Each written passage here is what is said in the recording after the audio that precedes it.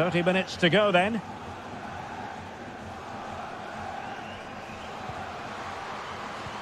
Must take the lead here, and they have. You've got to say, it has been coming. Again, to pick out this pass shows wonderful vision. It's inch perfect, and when through on goal, she makes no mistake. She just hits it so cleanly and with power. That's a great finish.